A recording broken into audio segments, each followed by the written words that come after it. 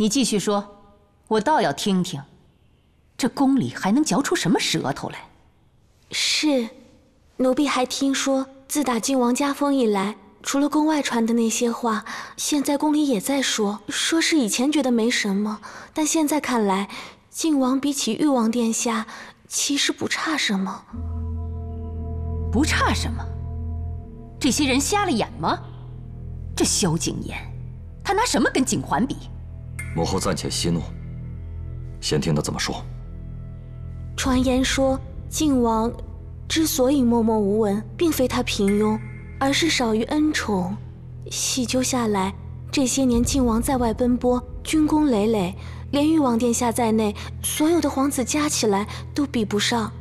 哼，萧景琰本来就是个武人，谁没事跟他比军功？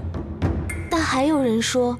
近一年，他一直留在京中，陛下派了好多差事给他办，所以在政绩上也不差。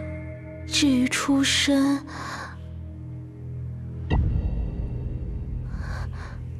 年前为了祭典和月贵妃复位一事，殿下您曾在朝堂发起论辩，其意是想表明太子并不是皇后娘娘所出，与誉王殿下您并无嫡庶之别，出身相当。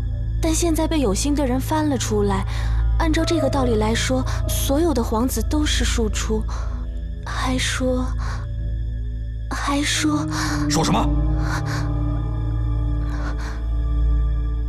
说是静妃在宫中越来越得宠，将来的位分说不定还要升。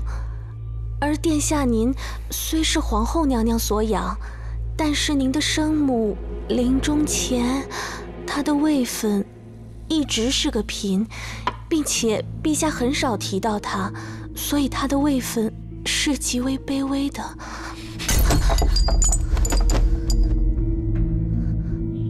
不过就是个五珠亲王，还想翻天不成？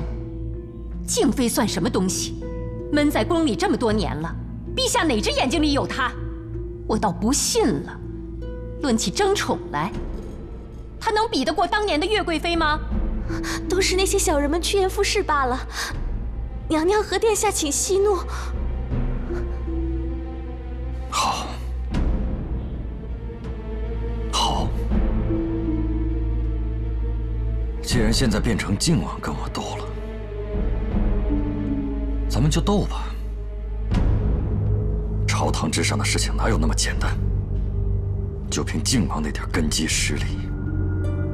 本王想踩他，可不会像踩太子那般费劲。萧景琰，咱们走着瞧。